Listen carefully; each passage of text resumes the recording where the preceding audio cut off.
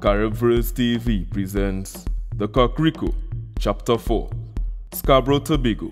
The electrifying battle between Killa-Watt and the Cocrico continues. Cocrico cuts the top of a fire hydrant using one of his wings. Killa-Watt is a very dangerous swimmer, but he has one weakness. Said Cocrico to himself as water splashed on Killa-Watt. Yeah! Killa-Watt was electrocuted as the water mixed with his shocking abilities. He had been defeated. I left Trinidad to get away from these heroes. Now Tobago has a Cocrico. Screwing with my plans, find someone who can clip his wings, said a mysterious man who observed the battle from his car, which had been parked nearby. To be continued.